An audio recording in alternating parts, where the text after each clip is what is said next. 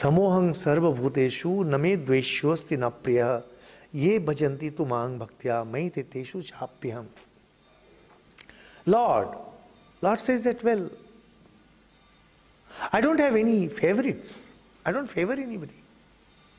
If you love me, you get love back. Because ultimately it's your mind. The Lord is within you. The more purified you become, and more you love, the Lord will love you more. The Lord loves his devotees. Why? Because the devotee loves him. And if you don't love, he doesn't. So it's something like mirror. As you as you are and looking at a mirror, so will the mirror reflect your image.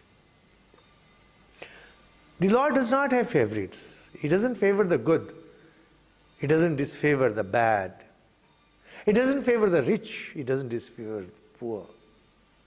Depending on how your devotion has been, the outcome will be exactly reciprocated. If you love God, God loves you. Finished.